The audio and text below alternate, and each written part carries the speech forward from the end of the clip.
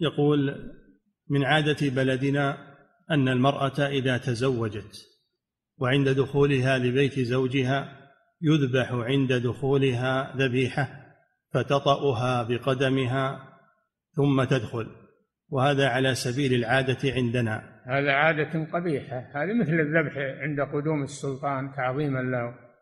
لا يجوز هذا. نعم.